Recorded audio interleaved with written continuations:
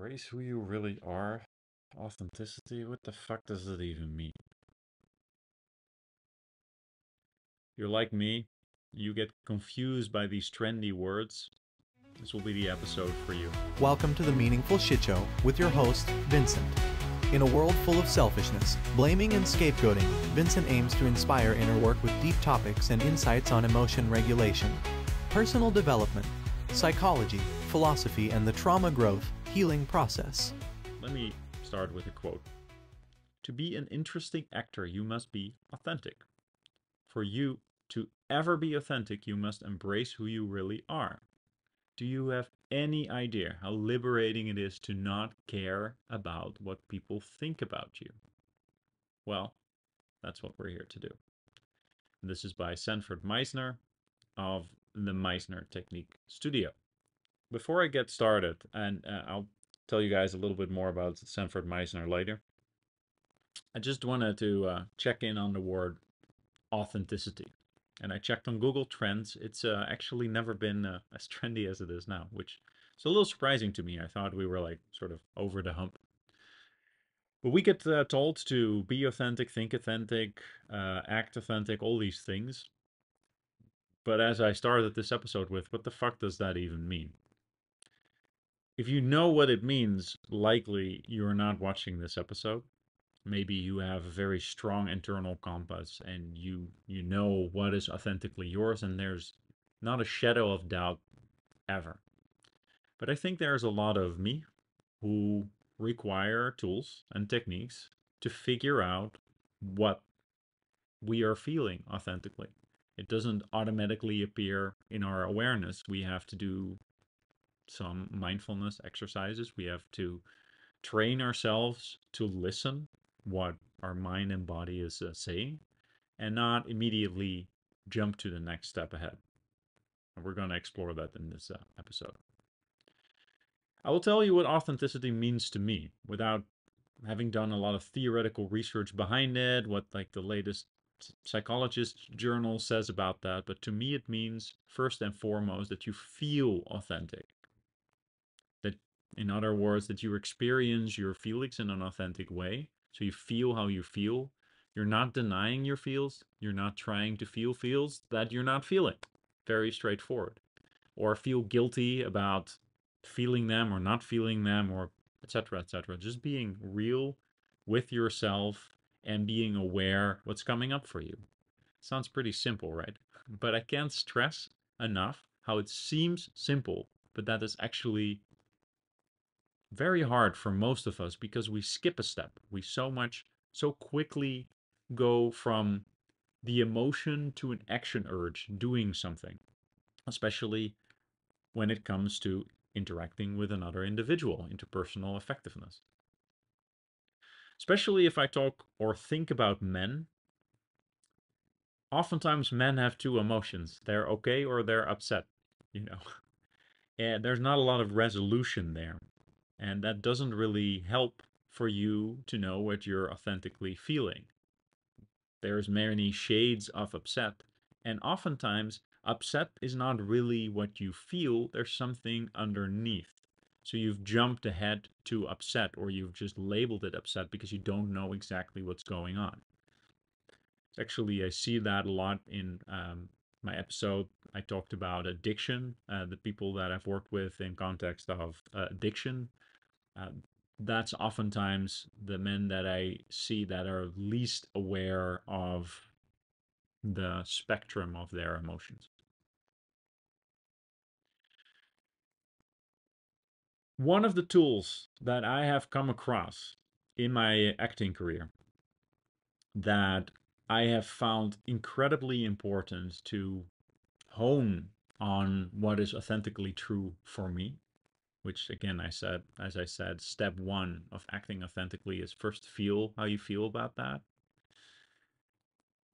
Like I said came through um, an acting technique uh, which was part by a technique or an, an, an acting exercise that's part of a technique uh, created by Sanford Meisner who uh, was with us in 1905 and he passed away in 1997 He's an American actor and acting teacher who developed an approach to acting instruction. There's much more to the technique.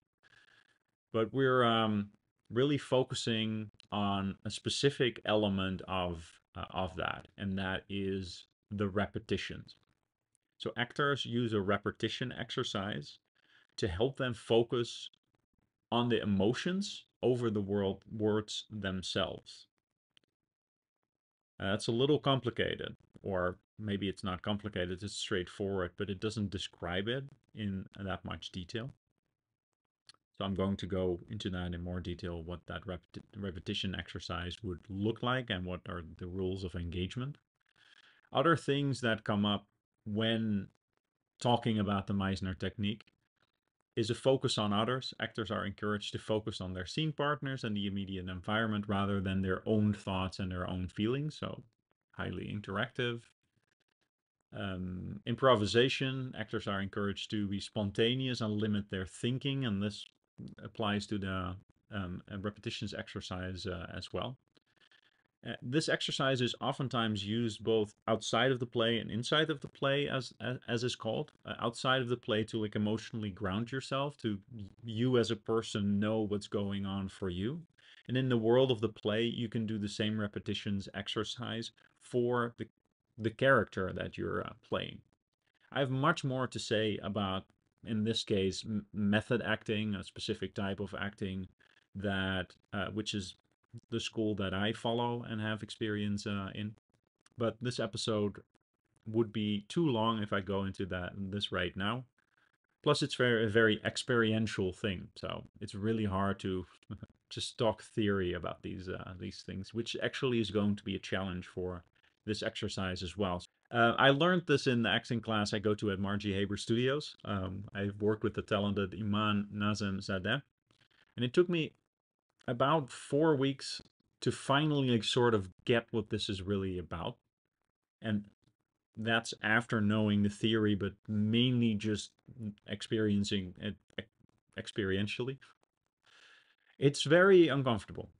So this is um, an exercise where you and your scene partner, to people in your class or random other people, a person, stand across from each other generally you're pretty locked in. You're you're looking at each other and you're having very direct conversation or it's not conversation, it's just exchanging feelings. So there's no no storytelling. This might be a semi stranger that you're talking uh, to. Maybe you've seen the person once or twice, but you don't really know that much about them. You're keeping eye contact throughout. You're trying to not filter whatever is going on for you. So that means that you would say things to that person that in normal parlance is not really accepted. And they do that to you. So you have to deal with that of someone doing something to you that's very uncomfortable to maintain. Don't have to, but generally you maintain eye contact. You observe, right? So an example is uh, we have two people standing across from each other, an, an A and uh, B. Let's get started. Let's see uh, what we can do with this. So, person A, I am happy to see. Person B, you are happy to see me. Person A, I am happy to see you. B, I am annoyed with you. Something uh, change. So now I'm going into meta communication here. So what we we've seen is normally would you just whatever came up, person A was happy to see the other person. You repeat that a number of times. Something else might come up for person B in this case is annoyed with person uh, person A. So person A, you are annoyed with me. B, I am annoyed with you. A, I don't like that. B, you don't like that. A, I don't like that. B, you don't like that. A, I don't like that. B, you don't like that. A, I don't like that. B, I feel guilty. A, you feel guilty. B, I feel guilty. A, you feel guilty. B, I feel guilty. I think I mixed, messed it up there. A, I feel defensive. B, you feel defensive. A, I'm feeling disconnected. B, you are feeling disconnected. A, I want to connect. B, you want to connect. A, I want to connect. B, I don't believe you, etc. So what I tried to do is, of course, I related it this to my experiences, what I've actually seen happen in, uh, in in in real life in this exercise. That generally there's some kind of like emotional journey that you uh, you go through. You're still two people, so you're still trying. Generally, in these situations, what do you do with the different human that you're you're sta staring right in the in, into the eyes? Like, generally, you want to create like some kind of vibe or connection. That's what we humans naturally do and sometimes that connection doesn't come and then we're uncomfortable and then we, we don't really want to do it uh, and that's exactly the interesting part of this repetitions exercise because you have to deal with that situation that's a situation in real life. We would go and and do something something else. We would look away. We would think okay well that's rude or we would leave or like whatever. In this situation you get to sit in that. You get to deal with that. You get to be really, really, really, really uncomfortable until the teacher finally tells you that it's time to uh, sit down. Like I said before, you don't go into story form. So, for example, you say you could say, "I don't know what that means," but you don't say, "I'm confused," because you stay on the primary. You first have to not know what something means before you're confused, right? So you're trying to stay as basic as possible, which is what we normally don't do. That normally just sort of like flies by. We're interested in the result or we're interested in the action urge that comes from that. In this case, it's different. So I really see that as an exercise in authenticity. Although this is a setting that is focused on acting and we are talking about real life, you can, of course, think about the fact that there are so many parallels between acting and real life and that requires diving into the different acting techniques that are that are there because there are acting techniques that definitely you know are not like real life but the school that i follow and go to focuses a lot on making as much real as possible. You're not showing emotions you're feeling those emotions. You create a situation where you're creating false memories but the memory is false in in a way all memories are false right? I mean they happened you know that you have a father a mother etc etc but the memories are incomplete and like sort of a summary so in the process of acting you can create memories that are sufficiently vibrant to pass as real memories so that it evokes emotions which is one of the greatest things of our brains. If we're really detailed about a situation we imagine how we feel. And if you look at the neuroscience like it's it's you there's no distinction between imagining it and being in that situation. It's it's it's the same. We uh, we run in the same type of like simulation mode it's a little bit um, too deep for this episode right now so, so this repetitions exercise is an exercise in authenticity but it's more authentic than you could get away with in real life because it's without any filter directly putting words to the feelings that arise to you. So this is something that we do very rarely. Maybe when you have a meditation practice, that you, you really focus on being aware of thoughts and feelings, naming them and then letting them go. And in a way, this is very similar, right? Because you're not just overloading your brain with reasoning and thing and thing, the next thing and the next thing, but you're trying to slow everything down. Although the repetition exercise can be really fast, but relatively speaking, slowing things down and not going into story mode, into explaining mode, etc., um, etc. Some of the key sentences that I hear coming by in such an exercise that are quite different from real life, uh, they would be offensive in real life, is the example that I gave of I didn't believe that. Right. In real life, if you don't believe something that someone tells you, you approach that in a different way. Instead of just saying the first thing that pops into your head like like a like a toddler or something like that. You think about who am I talking to? What's the relationship that I have with that person? do, do they have a precedent of uh, lying? Like, why do I think that they're lying? Or maybe they're not lying, but they're mistaken or something like that. Uh, why is that? And then what is polite, what is proper to say, again, in relation to the relationship that you have with that person. So there's like all this stuff going on before like pre-processing in a way before you say the next thing. If you don't believe something, you could decide to not really do that much with that. You might not believe that the Starbucks barista wants you to have a great day or something like that. But there's no point there's no point in that context of saying that. That would be rude and against our societal norms. Another sentence that I hear a lot is uh, I didn't like that. You generally don't say I didn't like that in reaction to something that someone did directly. Why why is that? Um it can feel to that person like they did something wrong. Although what all they could do is maybe like mirror some of the things that you said. And maybe if you hear them like reflected back to you, you decide, I didn't like that. But usually when that thought comes up, we generally, I, when I imagine that I, I, I, feel it somewhere in my body, this like twinge of like, hey, this is, I don't, I don't like that.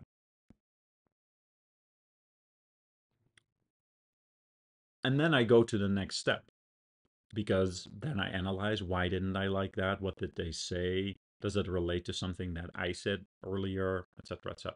So, but it is important to first spot and slow down. More about that later.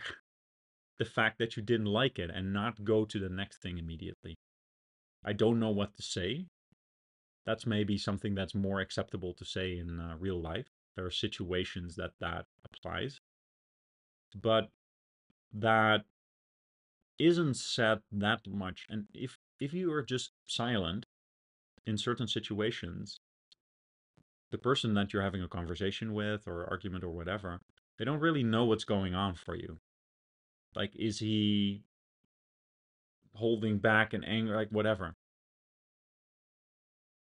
But sometimes I don't know what to say can give that person an indication of what's going on right and and it's a very raw primary thing i don't know what to say uh, there's not a lot of deeper thinking that comes to that usually what we would say in real life is i'm confused but that already comes with like more connotations we could also say is I don't understand, which is more similar, or I don't know what that means. That's more similar than what you would do in uh, in real life. in the repetitions exercise, the downside is that the the other person can't explain more about that later because you're staying away from narrative, staying away from storytelling. I'm trying to do it right, something that comes up for me a lot because it's an exercise, right? There's a right way to do it and there's a wrong way to do it sometimes what comes to the forefront for me is that I'm just trying to do it right, which is kind of like not the point because if I'm trying to do something right, guess what? I'm in my head and we don't want that. I want to explain is another one that I often hear, which of course is a response to someone not knowing what that means, etc., etc. It's interesting in that situation that you do not have the tool of language or explaining, I should say, to go further than that, which is really interesting as type of uncomfortableness to sit in as well. Let's say that you made a comment about Meisner technique or the repetitions exercise also focuses on saying things about your surroundings or the person in front of you. You have beautiful eyes. Um, I like your hair. Um, I like your outfit.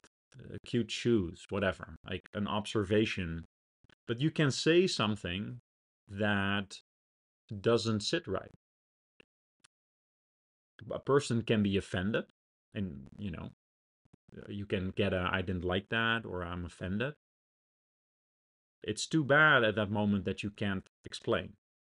But staying with that, that desire that I want to explain is again very useful because that's the most primary thing you you want to maybe explain maybe defend yourself maybe you know use language to make it all right and sometimes you can't and oftentimes response to a I want to explain, you want to explain, I want to explain, you want to explain isn't it's okay.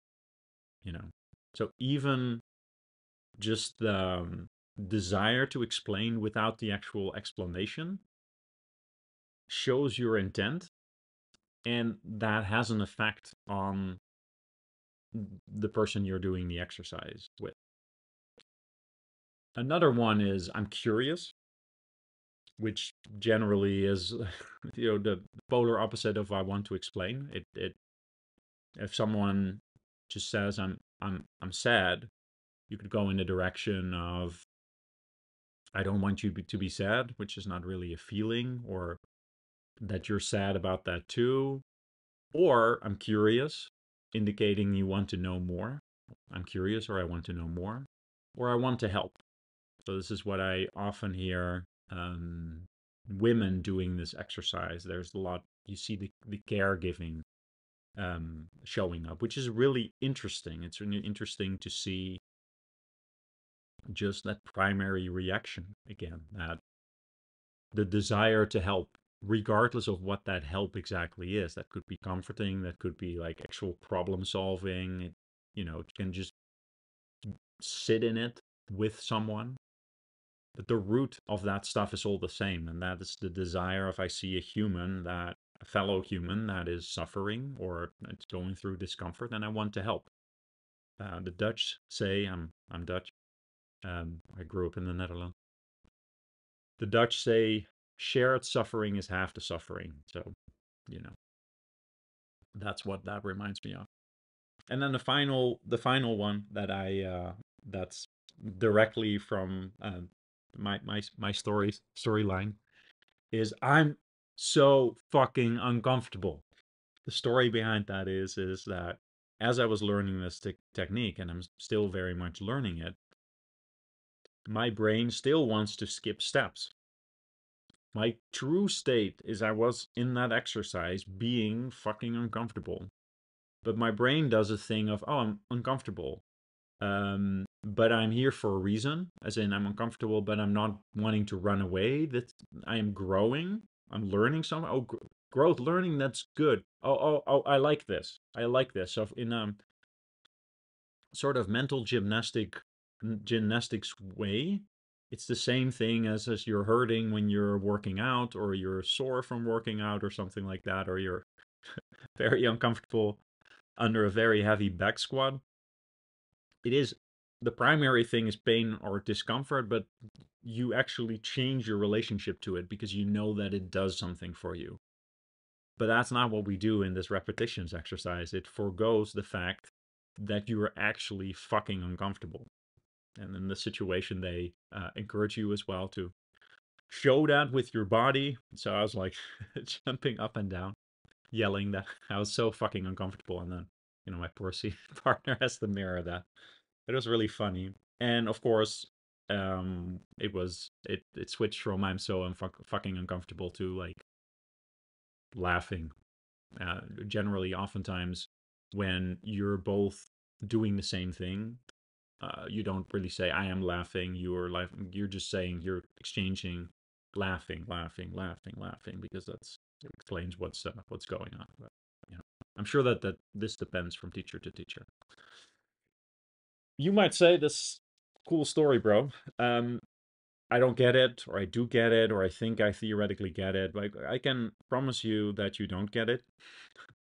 Uh, uh unless you've done it before because you have to do it in order to do it and you kind of need two people to do that and it's great to do that with another person who's never done it and like explore it but it's of course even better to do it with a teacher um, so the call to action there is well i would say twofold you can go on youtube find some examples of this technique so meisner technique repetitions there are very old from back in the day when uh, Sanford himself was uh, still around. Um, not that it's that long ago. Uh, and also uh, newer from newer newer acting studios that that showcase that. I'm gonna connect this back to authenticity and handling in an authentic way in a little bit. So little summarizing thing is that we don't stay generally in real life with the first thing that arises we shortcut to the next thing and sometimes that's like 10 things down the road which is in the situation when we want to really feel authentically what our feelings are it can be really advantageous to slow that process the fuck down I really like this exercise from uh, therapeutic purposes uh, or perspective as well. As humans, we love being mirrored. Uh, it we feel seen. We can feel seen in these situations. So it's actually something that's quite nice to go through. And I think it's quite interesting to do with someone you have a more direct relationship with as well in real in real life um, like a romantic partner, someone you're you're dating, a sibling, parent. Depends, of course, on the on the relationship. Um, so especially people that are creative and amenable to something like uh, like that, I I would try it out. Uh, it feels really raw, and and that's that can be really good. In generally general, uh, just had lunch with an acting friend of mine, and then she describes it as uh, acting. We we get trained to like take everything off, like just go to the raw uh, basics and com- communicate the raw basics in whatever way that that comes to me, uh, comes to us. Where in real life you you put that armor uh, back on. So, what's the takeaway here? I've talked about an acting exercise that allows you to be more mindful and present, see what emotions are rising up. How how does that help embrace us who, who we really are? Like part of it is I, I think self-evident because we have more resolution. Uh, we see ourselves clearer because we're slowing down. So how does it change our behavior? Well, now I actually can connect to a couple of episodes that I've already shot. I think that being authentic is acting in accordance to how you truly feel and how you feel about how you feel. So, meta feel, which obviously requires you to know how you feel in the first place, to recognize that feeling, and also how you feel about those feelings. Um, sometimes that can take a little bit of time and reflection. And sometimes that really directly connects to your values and beliefs, which I have talked about in the past. Uh, especially values can be really, really important because they guide what you want to do with a thought or a feeling. I, I've said feeling so far, but you can you can interchange that for for thought uh, here. It's important to make the distinction between not just the thought that you're having or the feeling that you're having, but also your meta feeling. Because, of course, being authentic is not acting on every random thought that you have. I'm sure that this is relatable, but sometimes your brain just comes up with something that's clearly, yes, it is a possibility, but it's really a bad idea either from a perspective for for yourself, right? Um, sometimes your brain, I think, how it works is that your brain automatically imagines a situation to see how it feels, right? Like if you get to a situation where there's a hot stove, stove, or a steep drop or something like that, you get a thought about touching the stove or jumping in the crevice or something like that.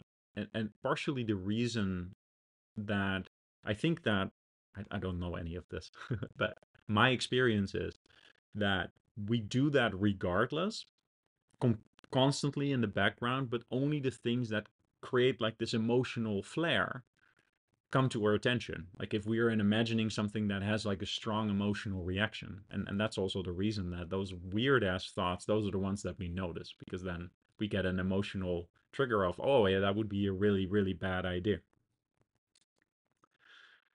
So you do have to take that into consideration that and how do you take that into consideration best i already i already mentioned it but it's slowing down but before we get there i think what's also important to underline is that being authentic to yourself is paramount. So all these filters and rationalizations and like whatever for yourself are not necessary in most situations. Look, you might have some kind of like mental systems in your head that are actually useful and you don't want to say goodbye to them yet. Just like the example that I just gave is that I deal with I deal still deal with some uncomfortable situations by focusing on the carrot that I, you know, you know, from the stick and the carrot to the reward that I get towards the end, which is an effective strategy to get to the end. This is the way that I can weightlift. This is the way that I can run marathons, right? So there's there's nothing wrong with that, especially it depends all on the stage of development. You will hear me saying this over and over again. The stage or like where I am currently with these things was not where I where where I was when I was 30 or when I was 25 and there's a growth to that. I'm sure 10 years from now I you know, there something else for me will uh, will be true. But I still feel like it's really important to acknowledge everything. Honor your sovereignty. Like you are sovereign being with your own perceptual bubble and whatever you hold as true is is true in your perception. You're fallible as well, but you're you're sovereign. And it's important, I think, to keep that in the back of your head.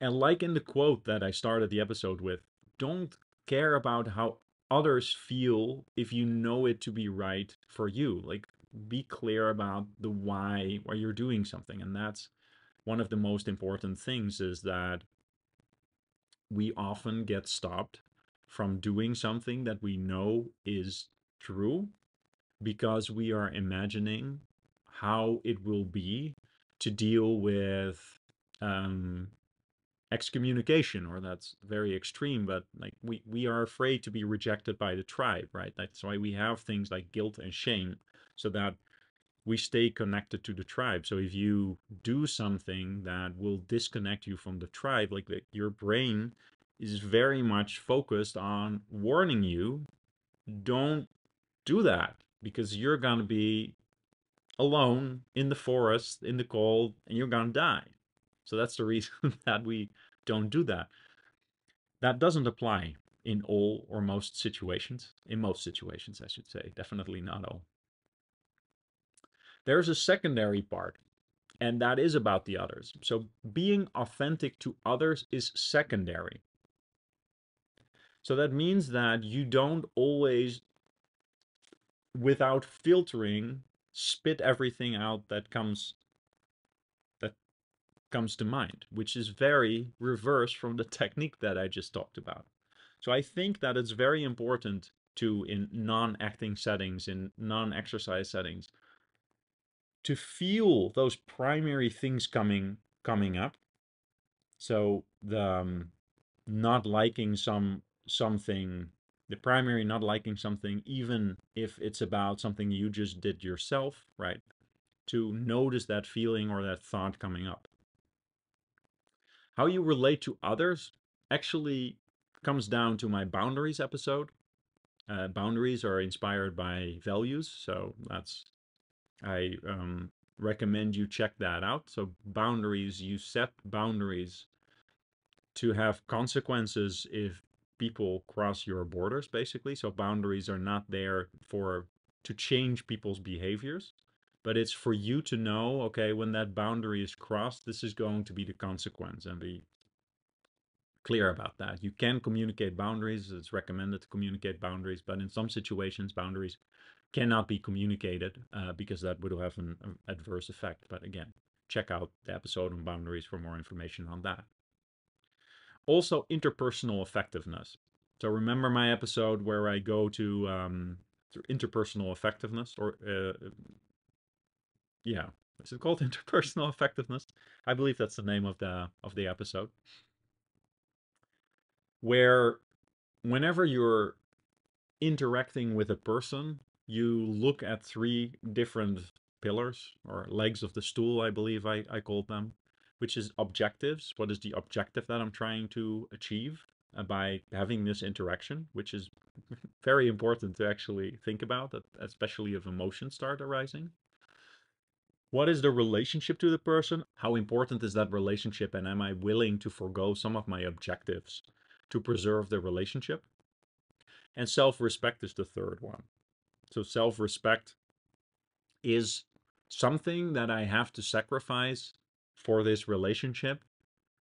Does it interfere with my self respect? Which, you know, can happen. I'm sure that all of us can remember an interaction with a family member where we got to choose between respecting ourselves and preserving the relationship with that family member. Maybe a racist uncle, maybe, you know, whatever whatever it is, calling them out on the Thanksgiving dinner. So being authentic to others is to be seen through the lens of interpersonal effectiveness.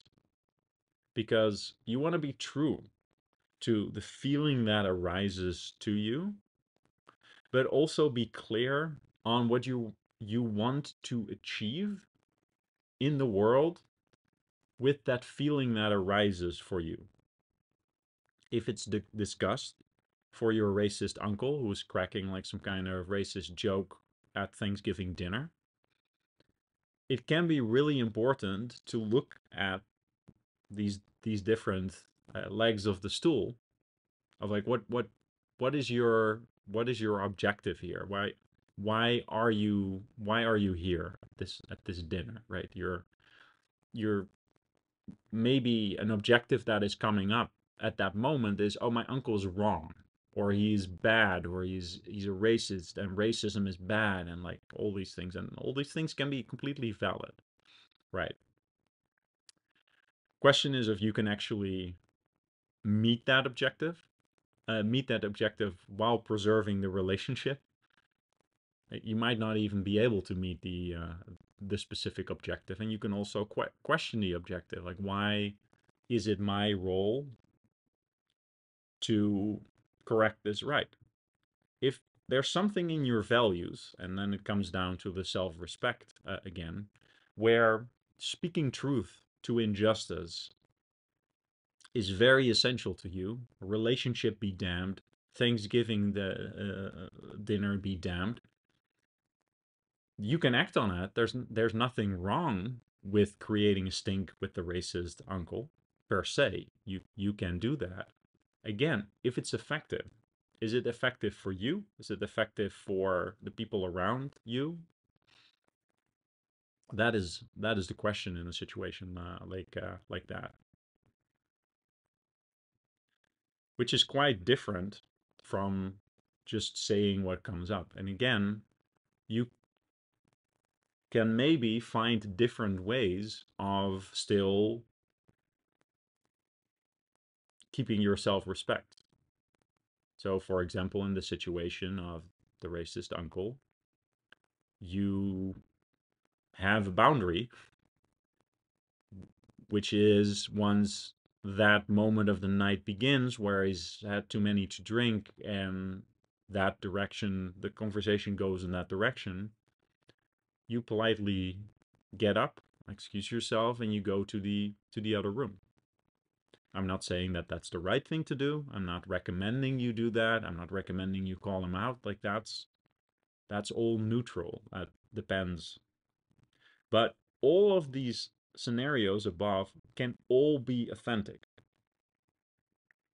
It can be along the lines of your value that you're wanting to speak truth to injustice or to racism or like whatever. But you can have another value that family is important. You are at that Thanksgiving dinner after all. Like if you didn't care about family, um, you know, why, why, why would you be there in the first place?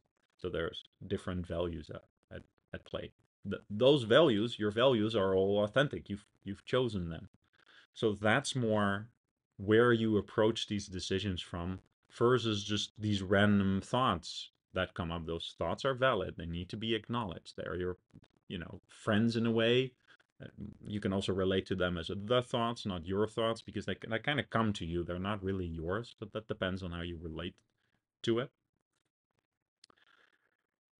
So I think that the second part of what I've explained here is quite different from the first part, where the first part is like super, super inclusive. And, you know, even like if I go through that exercise that I was talking about, it's it's super direct. It's super like expressing everything. But if it comes to like being authentic, living authentic life in the real world, there's like two things that I would want to add that are very important.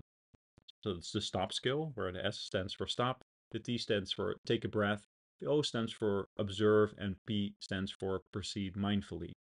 What you're doing there is you're creating a break, you're creating a pause, and that pause is there exactly to go through the process that we've just uh, we've, we've just identified.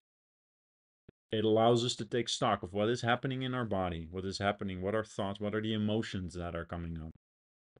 Am I feeling anger and I'm feeling fear? Like what what is what what am I feeling? How does it relate to the situation that I'm that I'm in?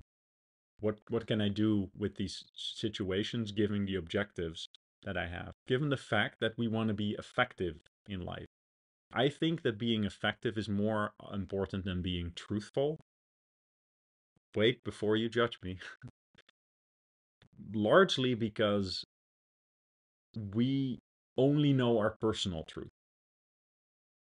We don't necessarily know the truth. Uh, this is a little bit of a metaphysical point. You might relate to truth in ways like, oh no, I know the truth because I, I read this study and that is not how the brain works, racist uncle, or uh, racist uncle, that is not how this politician that you're voting for is, eh, you know, blah blah blah, etc. etc. And from a certain point of view, yes, these these are these are facts, but also see them that they're super colored by personal perspective. There's many you can deconstruct them in many different ways. So that the way that I relate to to to truth is that I don't I am not the arbiter of truth.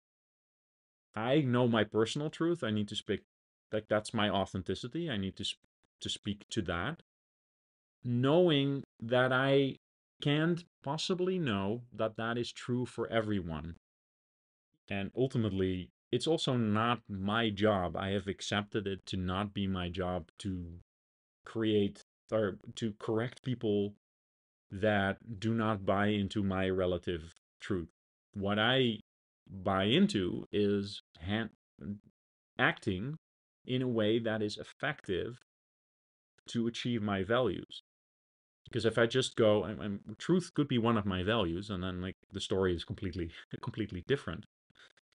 The second thing that I want to mention is a quote by Viktor Frankl from his book Man's Search for Meaning. Between stimulus and response, there is a pause. Within that pause lies our freedom. Exact same thing, right? So if we go a little bit meta here, there is feeling your feelings, acknowledging them, being authentic in that way. It's being authentic by knowing your values, knowing your feelings, knowing how you feel about those feelings, and skillfully going through actions. Then there's also from a meta perspective the practice of feeding the thoughts that are in line with your values and starving those that don't how do you know which thoughts you want to feed how much which thoughts you want to put time into and and which thoughts you really kind of like want to let go. It's quite interesting because how do you know if a thought is useful or not? Let's say that you're worried about the political climate or you're worried about the stock market or you're worried about the health of your child and you can't thinking uh, can't stop thinking about that. Is that good? Is that bad? Like who's to say but oftentimes there is more of a um, distinction that you can uh, you can make so i think it helps your living authentically by concentrating your efforts to also influence your thought process, to influence your associations in such a way that less you have less of an energy drain, an energy an energy leak. So that's a that's a that's a meta point, something that you can take away beyond just feeling authentically and being authentically. It's also like the meta process of redefining what your authentic experience of your feelings is because although feelings just come to us, we can decide if we have that random violent thought, how much time we're going to spend obsessing about that or worried thought or something like that to a to a certain extent. And if this is something that's really hard for you or complicated, I I do recommend seeking help for that because working with a therapist for those things can be can be absolutely great. There's only so much you can get from a person who is unlicensed and just um, passionate about this stuff. And the second thing I would say as well is being aware of your own triggers. So in uh, DBT, we call them vulnerability factors. Is it, are you vulnerable to politics? Are you vulnerable to being disrespected? Or do you need to be respected? Do you need to be liked? Are you vulnerable to disappointing people? Are you vulnerable if people are speaking falsehood from your perspective? What is the thing that really gets you gets you going and can allow yourself to blow past that pause that you're trying to take. So it can be actually really, really important to flag those things because especially in those situations, you want to take that break. You want to be able to spot that, to really feel what that is doing to you and really know that there is no that action urge that comes with that emotion is optional the emotion is is what the emotion is the thought or feeling. Don't repress that don't like whatever acknowledge that all important but the action urge that comes with it is not necessarily something that should be acted upon. It should be reflected on. That's absolutely true. Again this comes to the effectiveness. But we are living in a complicated world with like lots of people and we need to be lack of better word, political in the way that we interact with uh, with different people, which might not feel authentic, but my stance or what I'm what what my position in, right now is is that it is authentic because what authenticity is is living according to your values ultimately not living to according to your random ass thoughts that just pop up in the moment. And that's what I would want to close out with. And I hope that this was as interesting to you as it is to me. I hope this exercise speaks to you. Thanks for tuning in and love to see you next time. And this has been Vincent for The Meaningful Shit Show. Catch you later.